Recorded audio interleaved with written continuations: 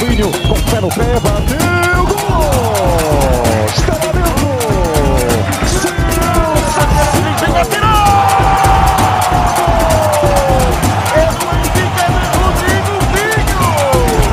É indefensável para o guarda-redes, Conardo.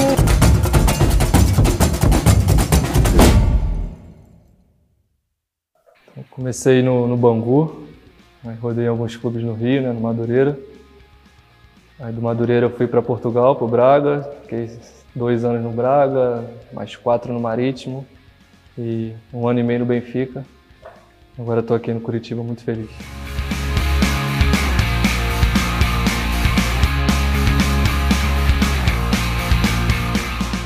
Então, sou um atacante que não gosta de ficar muito fixo na área, né? Gosto de participar da, criação das jogadas também, receber entre linhas.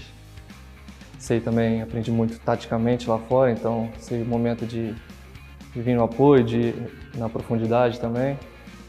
Me considero um atacante técnico e tenho como principal característica acho que a finalização e principalmente com, com a perna esquerda.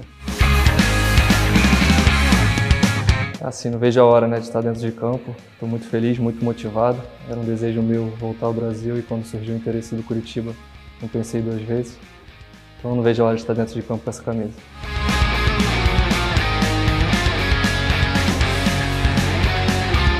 É isso aí, torcedor. Já fizemos aquela primeira parte na sala de imprensa. Agora estamos aqui na arquibancada do Couto. Fala, Pinho, tudo certinho? Falei Pinho, é Rodrigo Pinho. Eu posso escolher, né? Entre Rodrigo ou Pinho. Valeu. Valeu por trocar essa ideia com a gente e tudo certinho? Tudo tranquilo. Pode ser vocês que escolhem aí, mano. a gente que escolhe, torcedor que escolha. Rodrigo ou Pinho ou Rodrigo Pinho, né? Isso aí, isso aí. Tanto faz. Tanto faz. E é assim, ó, uma primeira pergunta aqui mais descontraída. Cara, é uma emoção, acho que um sonho de criança também. Como é que foi a emoção de jogar a Champions? Entrar no gramado e ver aquela musiquinha lá, que todo mundo vê na TV, só como é que foi jogar? Ah, acho que é o campeonato que todo mundo sonha, né? Todo jogador quer, quer jogar grandes jogos assim. Tive a oportunidade de jogar os dois jogos contra o PSG. Foi um momento muito especial. Mas já passou, agora minha cabeça está aqui no Curitiba. É isso aí. E o seu pai era jogador também e atacante, né? Essa fome de balançar as redes veio de berço? É, meu pai jogou, jogou em alguns clubes aqui no Brasil, jogou fora também. É, a cobrança acaba sendo até maior, né?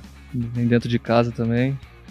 Acompanhei muito os vídeos do meu pai, então é um espelho para mim e me faz, me faz sentir mais, mais confiante dentro de campo. Falando em espelho, emendando essa próxima pergunta, quais são as suas principais referências no futebol? Quem você se espelha assim dentro do campo? Cara, vou falar meu pai mesmo. vou voltar para ele. Como eu disse, é um cara que sempre me ajudou, sempre esteve comigo. Acabo os jogos, já falo com ele logo, a gente já vê o que eu podia ter feito diferente. Então é um cara que me ajuda muito. E assim, você já deve saber que a nossa torcida é uma torcida muito apaixonada, é um coxa doido, né? Como a gente costuma falar aqui. Como é que tá é, o coração, sabendo agora que você vai receber todo esse apoio dos coxas doidos aqui dentro de campo? Ah, tô muito feliz. Eu tenho recebido já muitas mensagens nas redes sociais, então não vejo a hora de poder estar dentro de campo dando alegria para eles. Assim, eu, eu vou pedir para, se der, para levantar aqui só para mostrar atrás da camiseta que tá, boni tá, tá bonito isso aqui, cara. ó, aqui, ó, gente. É isso aí, ó. 9 do Verdão. Cara, terminando com essa imagem, manda um recado pro torcedor. Quero dizer para vocês que estou muito motivado. É, vou dar tudo dentro de campo. Quero muito marcar muitos gols aqui e dar muitas alegrias a vocês. O Coxa tá chamando. Seja sócio.